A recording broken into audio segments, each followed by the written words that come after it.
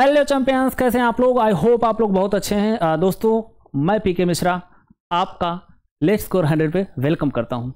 दोस्तों आ, पिछले चैप्टर में यानी पहले चैप्टर में जिसका नाम पावर शेयरिंग है पावर शेयरिंग चैप्टर का लास्ट टॉपिक था हमारा major forms of power sharing दोस्तों major forms of power sharing में हम लोगों ने पढ़ा था कि there were four major forms of power sharing and उसमें से सेकेंड नंबर में था power is shared among governments at different level central government state government and हमारे यहाँ लोकल सेल्फ गवर्नमेंट भी है जिसे हम पंचायत एंड म्यूनिसिपैलिटी के नाम से जानते हैं। सो so, दोस्तों जो दूसरे नंबर पे है power is shared among government at different level government at different level उसको हम एक और नाम से जानते हैं that is known as federal division of power right and federal division of power को एक और टर्म से हम लोग जानते हैं।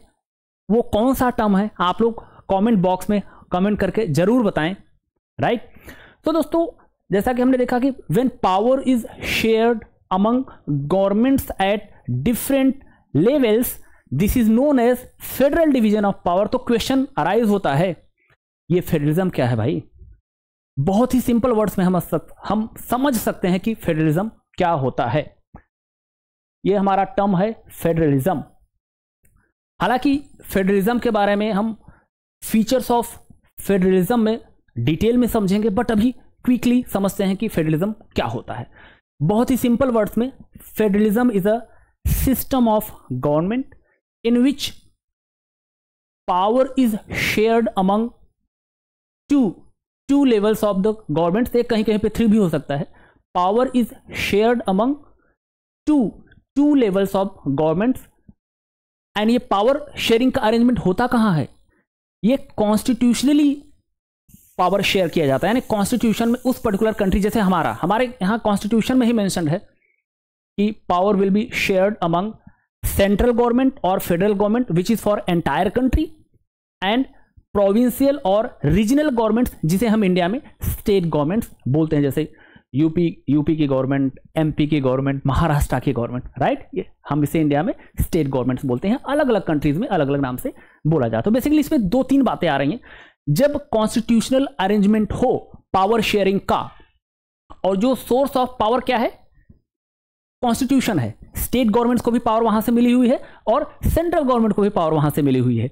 This arrangement is known as federalism हालाँकि इसके और भी फीचर्स है बट रफली हम लोग ये समझ सकते हैं।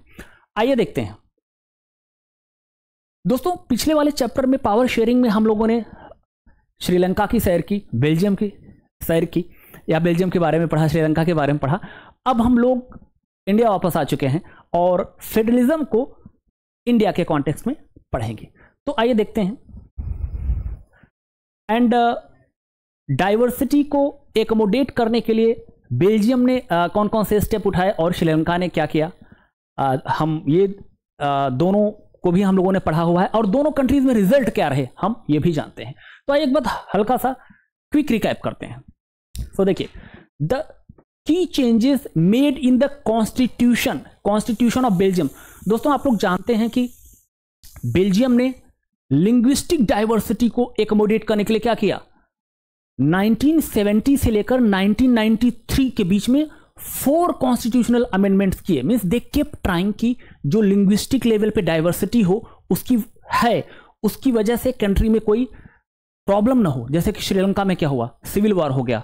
लेकिन इन लोगों के देख, इन लोगों ने, बेल्जियम के लोगों ने कोशिश जारी रखी और फोर अमेंडमेंट्स किए। और फाइनली बेल्जियम एक मॉडल बन गया। और जैसा कि आप लोग जानते हैं, पहले चैप्टर में है भी elements main elements of Belgian model of the government हमें पढ़ाया जाता है राइट और जो आप लोग कमेंट बॉक्स में कमेंट करके बताएँ कि बेल्जियम मॉडल्स में बेल्जियम मॉडल ऑफ़ गवर्नमेंट में कितने एलिमेंट्स हैं टोटल और उसी में से सेकेंड नंबर पे एक एलिमेंट है, उसमें हम लोगों ने यह पढ़ा था कि बेल्जियम में क्या हुआ? डाइवर्सिटी लिंग्विस्टिक डाइवर्सिटी को एकोमोडेट करने के लिए, यानी फ्रेंच डच और जर्मन लोगों को सबको प्रॉपर वैल्यू मिल सके पावर शेयरिंग हो सके, उसके लिए क्या किया गया था? सेकंड नंबर पे है, उन्होंने क्या किया? सेंट्रल गवर्नमेंट की पावर को कम करके स्टेट गवर्नमेंट्स को दे दिया।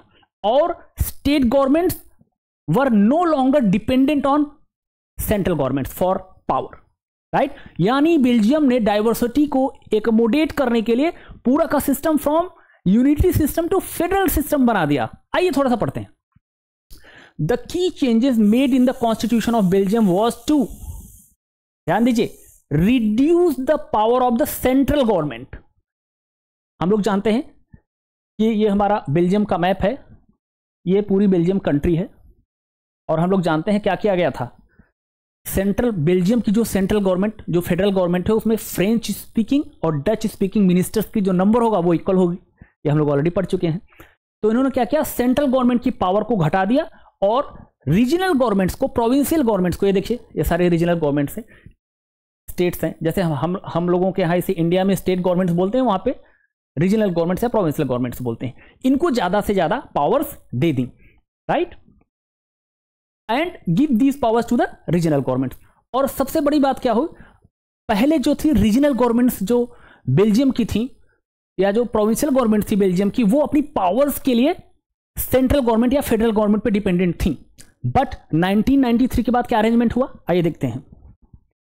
दे हैड देयर रोल्स यानी जो स्टेट गवर्नमेंट ये सेकेंड पॉइंट को हम लोग चले देख लेते हैं। रीजनल गवर्नमेंट्स यानी जिसे इंडिया में हम लोग स्टेट गवर्नमेंट्स बोलते थे regional governments existed in Belgium even earlier ऐसा नहीं था कि 1993 से पहले बेल्जियम में स्टेट गवर्नमेंट्स नहीं थी थी बट जो स्टेट गवर्नमेंट्स की पावर्स थी वो डिपेंडेंट थी सेंट्रल गवर्नमेंट पे, यानी वहाँ पे यूनिटरी फॉर्म ऑफ़ गवर्नमेंट था right so these they means regional government they यानी regional governments had their roles and powers but all these powers were given to these regional governments and could be withdrawn by the central government यानी central government का upper hand था central government ज़्यादा strong थी। लेकिन 1993 में क्या हुआ? 1993 में यह कॉन्स्टिट्यूशनल अरेंजमेंट बनाई गई कि अब सेंट्रल गवर्नमेंट या स्टेट गवर्नमेंट्स जो हैं, उनकी पावर कहाँ से आएगी? कॉन्स्टिट्यूशन से आएगी। मींस प्रोविजनल प्रोविंशियल गवर्नमेंट्स या state governments were no longer dependent on central government for the power right आइए देखते हैं, आगे ये लिखा है। The change that took place in 1993 जैसा कि आप लोगों ने देखा from 1970 to 1993 means 23 years for long 23 years वो कोशिश करते रहे, ताकि लिंग्विस्टिक डाइवर्सिटी को कल्चरल डाइवर्सिटी को एकोमोडेट किया जा सके। तो देखते हैं the change that took place in 1993 last constitutional amendment 1993 में हुआ था बेल्जियम में डाइवर्सिटी को एकोमोडेट करने के लिए was that the regional governments were given constitutional powers. मैं ये नहीं कर रहा हूँ कि बेल्जियम में, बेल्जियम के कॉन्स्टिट्यूशन में लास्ट अमेंडमेंट 1993 में हुआ था। बेसिकली डाइवर्सिटी को एकोमोडेट करने के लिए जो लास्ट एफर्ट किया था उन्होंने फ्रॉम फ्रॉम 1970 टू 1993 और 1993 में जो अमेंडमेंट हुआ, उसका क्या रिज़ल्ट रहा ये देखते हैं हम। The change that took place in 1993 was that the regional governments were given constitutional power इसका मतलब क्या हुआ? अब provincial governments were no longer dependent on central government for their powers अब कॉन्स्टिट्यूशन से कॉन्स्टिट्यूशनल गारंटीड हो गया स्टेट गवर्नमेंट्स का पावर अब इस सेंट्रल गवर्नमेंट यानी फेडरल गवर्नमेंट बेल्जियम की उसको स्नैच नहीं कर सकती थी, जैसा कि इसमें लिखा हुआ है। कुड बी विड्रॉन अब सेंट्रल गवर्नमेंट या फेडरल गवर्नमेंट बेल्जियम में फेडरल गवर्नमेंट बोलते हैं, हमारे यहाँ सेंट्रल गवर्नमेंट बोलते हैं right given constitutional power that were no longer pay attention to this no longer dependent on the central government यानी क्या हुआ? बेल्जियम ने फेडरल स्ट्रक्चर को एडॉप्ट कर लिया यूनिटरी स्ट्रक्चर को छोड़ दिया। Thus Belgium shifted from a unitary to federal form of government actually federal form of government में होता क्या है कि अब देखिए, अब जैसे हम अपने इंडिया के एग्ज़ाम्पल से सबसे समझते हैं, हर स्टेट की जोग्राफी अलग है, हर स्टेट की प्रॉब्लम्स अलग है अलग अलग स्टेट्स में अलग अलग रिसोर्सेज की कमी है या प्लेंटी ऑफ़ रिसोर्सेज अवेलेबल है तो अगर लोकल लेवल पे लोग अगर से मैनेज करें तो ज़्यादा अच्छा कर पाएँगे। राइट तो इसीलिए हमारे हमारे इंडिया में भी तो ऐसा ही है ना?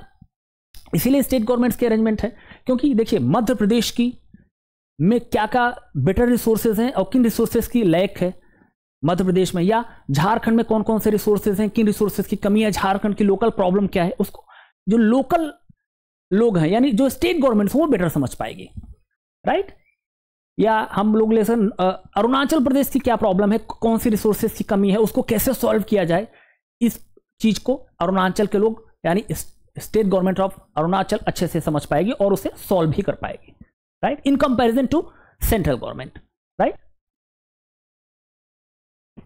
now उसी तरह से बेल्जियम में भी 1993 में किया गया कि सेंट्रल गवर्नमेंट की पावर को हटा के स्टेट गवर्नमेंट्स को दे दिया गया और state governments were no longer dependent on central government for their powers क्योंकि अब वो कॉन्स्टिट्यूशनली गारंटीड हो गया। Now will move to the next slide and next slide talks about Sri Lanka हम लोगों ने लास्ट चैप्टर में पढ़ा था, हल्का सा, बहुत हल्का सा ब्रीफ हम लोग देखेंगे श्रीलंका का।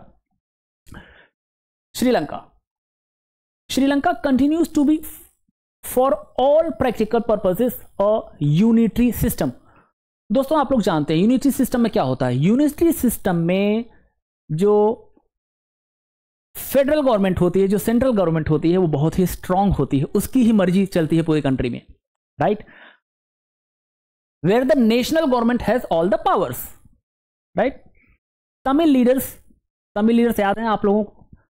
तमिल लीडर्स जो कह रहे थे भाई कोई बात नहीं अलग आ, हमें हमें ऑटोनोमी दे दो। थोड़ा सा जहाँ पे जो जहाँ पे ज़्यादा तमिल लोग कॉन्सेंट्रेटेड हैं जिन एरियाज़ में बेसिकली आप लोग जानते हैं, ये जो नॉर्थ एंड ईस्ट ये रीजन है जो रेड वाला। यहाँ पे तमिल तमिल पॉपुलेशन ज़्यादा कॉन्सेंट्रेटेड थी।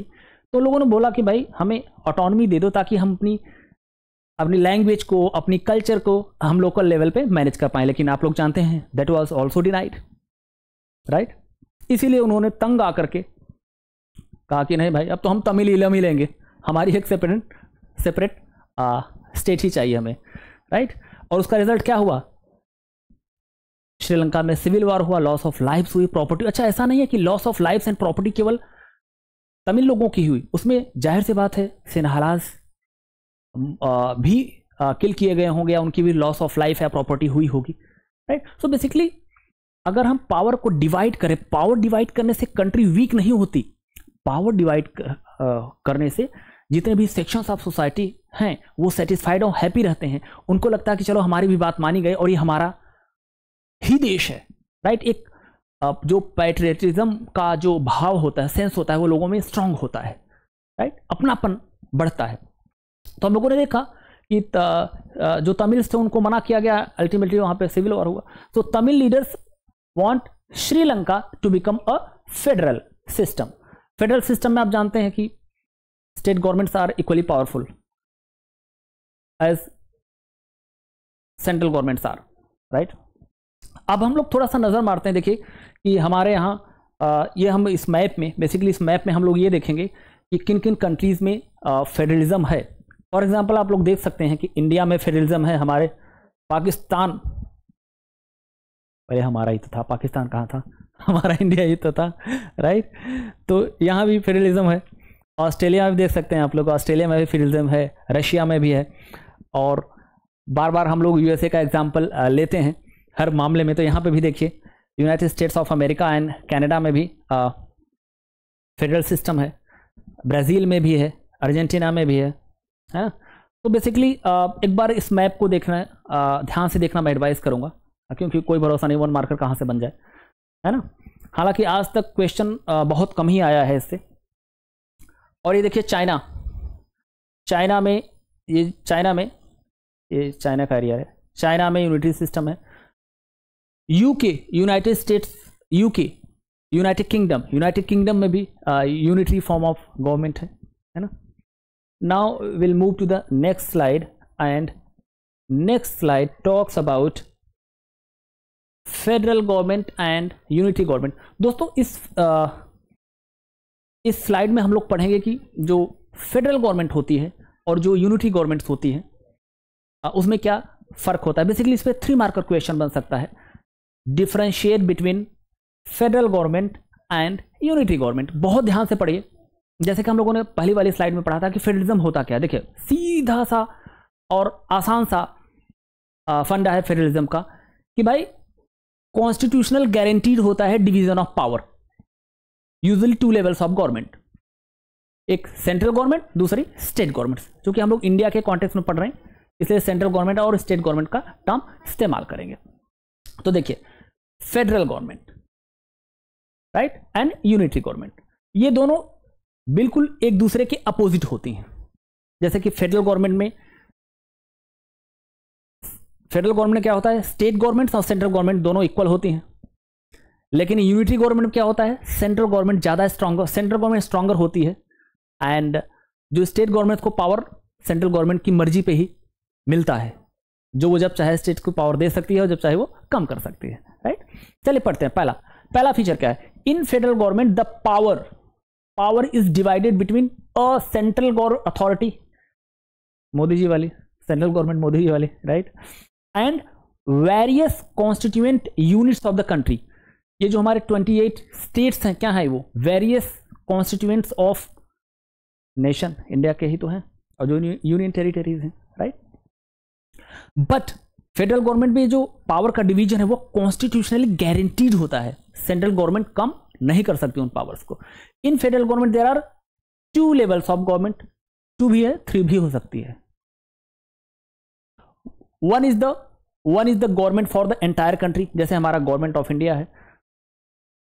That is usually responsible for a few subjects of common national interest common national interest का मतलब क्या होता है? ऐसे सब्जेक्ट्स ऐसे टॉपिक्स जो पूरी कंट्री के लिए कॉमन हो, जैसे डिफेंस मान लीजिए कोई फॉरेन कंट्री मान लीजिए चाइना अगर अटैक करती है तो मध्य प्रदेश के चीफ मिनिस्टर यूपी के चीफ मिनिस्टर बिहार के चीफ मिनिस्टर सब अपने बहुत ही क्योटिक सिचुएशन हो गया। सबसे पहले तो बहुत ज़्यादा इन इन सारे स्टेट्स को अपनी हार भी रखनी पड़ेगी। मतलब बहुत ही एक गड़बड़ व्यवस्था हो जाएगी राइट तो डिफेंस क्या है? भारत सरकार के गवर्नमेंट ऑफ़ इंडिया देखती है कि हमारी कंट्री में कहीं से कोई भी दिक्कत होती है तो भारत गवर्नमेंट ऑफ़ इंडिया उसके लिए रिस्पॉन्सिबल होगी एंड हमारी इंडियन आर्मी इसके लिए काम करती है राइट जैसे रेल ट्रांसपोर्ट हो गया पोर्ट्स हो गए कम्युनिकेशन हो गया। अब जैसे अगर सपोज़ जो रेल ट्रांसपोर्ट है, अगर स्टेट गवर्नमेंट्स को दे दिया जाए तो क्या होगा? आप लोग जानते होंगे रिवर वाटर को लेकर के, जैसे कृष्णा रिवर के वाटर को लेकर के स्टेट्स में तानातानी होती है, खींचताछ होती है, लड़ाई होती है। जैसे कृष्णा रिवर की वाटर को लेकर के आंध्र प्रदेश, महाराष्ट्र, आंध्र प्रदेश, महाराष्ट्र और कर्नाटका आपस में लड़ रहे हैं रिवर वाटर को लेकर के। तो अगर suppose rail transport rail transportation या रेल ट्रांसपोर्ट अगर दे दी जाए स्टेट्स को स्टेट्स आपस में लड़ मरेंगे। वो कहेंगे, नहीं जी, मैं यहाँ से अपनी, आपके रेलवे ट्रैक को नहीं जाने दूँगा। है ना? बहुत ही क्योटिक हो जाएगा। अब गवर्नमेंट ऑफ़ इंडिया के पास से देखो कितना स्मूथ सारी व्यवस्था हो जाती है है ना? हाईवेज हाईवेज भी एक कॉमन नेशनल इंटरेस्ट में। अदरवाइज़ स्टेट्स कहेंगे नहीं जी मैं तो अपने अपने स्टेट से आ, आपका हाईवे नहीं जाने दूँगा। सोचो कितना क्या ऑटिक हो जाएगा है ना? तो इसलिए जो कॉमन नेशनल करेंसी हो गया या फॉरेन अफेयर्स हो गया सपोज़ आपको अगर अब्रॉड जाना है तो आपको पासपोर्ट गवर्नमेंट ऑफ़ इंडिया से लेना होगा। उसी तरीके से अगर मान लीजिए एग्रीकल्चर से रिलेटेड मैटर है या पुलिस हो गया या पब्लिक हेल्थ हो गया, ये सब स्टेट के सब्जेक्ट्स हाँ। ये देखते हैं, आगे समझते रहेंगे हम लोग। So one is the government for the entire country that is usually responsible for a few subjects common interest common national interest के कॉमन नेशनल इंटरेस्ट के सब्जेक्ट्स हम लोगों ने पढ़े, जैसे करेंसी हो गया रेल ट्रांसपोर्ट हो गया हाईवेज हो गया डिफेंस हो गया, है ना? पोर्ट्स हो गए कम्युनिकेशन हो गया। The others are the others are governments at the at the level of provinces और states that look after much of the day to day administering of the their states जैसे जैसे हम लोगों ने बात की एग्रीकल्चर हो गया पुलिस हो गया पब्लिक हेल्थ हो गया। अब देखिए, होता क्या है कि ये स्टेट लिस्ट का सब्जेक्ट क्यों? जैसे फॉर एग्ज़ाम्पल पब्लिक हेल्थ हो गया। हर स्टेट की, हमारे इंडिया की इंडिया के कॉन्टेक्स्ट में समझते हैं, हर स्टेट की ना जोग्राफी अलग है। जोग्राफी अलग होने की वजह से वहाँ का वेदर और क्लाइमेट अलग है। उसकी वजह से अलग अलग तरह की बीमारियाँ हैं। और चूँकि जोग्राफी पे काफ़ी कुछ डिपेंड करता है एग्रीकल्चर तो एग्रीकल्चर भी बिल्कुल अलग अलग है। और हर स्टेट की कल्चर भी अलग अलग है तो पुलिसिंग भी उसी हिसाब से होती है। तो बेसिकली पुलिस हो गया पब्लिक हेल्थ हो गया एग्रीकल्चर हो गया, ये स्टेट के सब्जेक्ट होते हैं right both levels of governments enjoy their power independent of the other ये चीज़ आपको नोट करनी होगी कि जो federal government federal system of government होती है, उसमें जो पावर का डिवीज़न होता है, वो कॉन्स्टिट्यूशन गारंटी करता है। स्टेट गवर्नमेंट्स को भी और सेंट्रल गवर्नमेंट को भी। मतलब स्टेट गवर्नमेंट्स को सेंट्रल गवर्नमेंट पे डिपेंडेंट बिल्कुल भी नहीं होना है। यही तो अभी हम लोगों ने पढ़ा ना, बेल्जियम ने क्या किया? बेल्जियम ने सेंट्रल गवर्नमेंट्स की पावर को घटा के स्टेट गवर्नमेंट्स को दे दी और state governments were no longer dependent on the central government तो ये हमारा हो गया फेडरल गवर्नमेंट के जो फेडरल गवर्नमेंट की ये पाँच फीचर एक तरीके से बोल सकते हो। फेडरल गवर्नमेंट में ये होता है। और हालाँकि डिटेल में भी हम लोग जो ना, अगला टॉपिक जो हमारा होगा फीचर्स में और भी डिटेल में पढ़ेंगे। अब आइए देखते हैं यूनिटी गवर्नमेंट का। यूनिटी गवर्नमेंट बिल्कुल फेडरल गवर्नमेंट के अपोजिट होती है। जैसे आप लोगों ने देखा फेडरल गवर्नमेंट में state government and central government state government and central government दोनों इक्वल होती हैं। और दोनों पावर कहाँ से ड्राइव करते हैं? कॉन्स्टिट्यूशन से। आइए देखते हैं एक बार। Unity government so federal government are contrasted with unity government यानी फेडरल गवर्नमेंट जो होता है वो स्टेट गवर्नमेंट के बिल्कुल अपोजिट में होता है। कैसे होता है देखते हैं। अंडर द यूनिटरी सिस्टम इधर there is only one level of government या तो केवल एक ही तरह की गवर्नमेंट होगी, जैसे कि चाइना में। Right right? एक ही लेवल की गवर्नमेंट होगी, जैसे कि यूके में। Right right?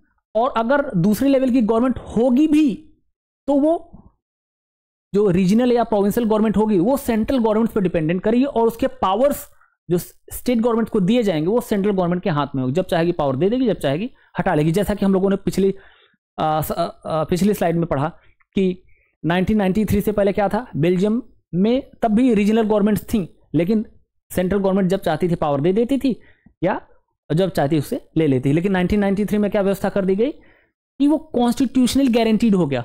अब सेंट्रल गवर्नमेंट के हाथ में, फेडरल गवर्नमेंट, एक्चुअली बेल्जियम में फेडरल गवर्नमेंट बोलते हैं। तो फेडरल गवर्नमेंट के हाथ में ये नहीं था कि जब वो चाहे पावर दे दें जब चाहे पावर ले लें राइट ना अगला देखते हैं हम। सो हाँ the central government the central government can pass on orders to the provincial और द लोकल गवर्नमेंट हम लोग ऑलरेडी डिस्कस कर चुके हैं कि सेंट्रल गवर्नमेंट जब, जो चाहे जो, वो ऑर्डर दे स्टेट गवर्नमेंट्स को इन यूनिटी क्योंकि सेंट्रल गवर्नमेंट स्ट्रांग होती है। प्रोविंशियल और state governments are financially dependent on central government.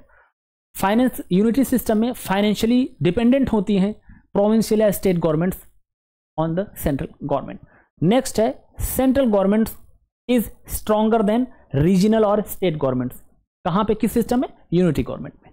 Right तो ये रहे हमारे फीचर्स सेंट्रल गवर्नमेंट क्या होती है? State government central sorry basically federal government और यूनिटी गवर्नमेंट तो बेसिकली इस पर क्वेश्चन जैसे हम लोगों ने शुरू में ही डिस्कस किया, इस पर क्वेश्चन क्या सकता है? इसमें हमारा क्वेश्चन ये हो सकता है कि वाट आर दी डिफरेंसेज और differentiate between federal government and unity government with examples तो हमको एग्जाम्पल्स भी याद रखना है। जैसे फेडरल सिस्टम के एग्ज़ाम्पल में हम लोगों ने क्या देखा? फेडरल गवर्नमेंट का अगर एग्ज़ाम्पल पूछा जाता है तो यूनाइटेड स्टेट्स ऑफ़ अमेरिका हो गया इंडिया हो गया। अगर यूनिटी गवर्नमेंट का एग्ज़ाम्पल पूछा जाएगा तो क्या हो गया? चाइना हो गया यूनाइटेड किंगडम हो गया। तो आप लोग इसे ध्यान रखें। एंड आई होप आप लोगों को मज़ा आया। कमेंट करके ज़रूर बताएँ कैसा लगा ये session thank you so much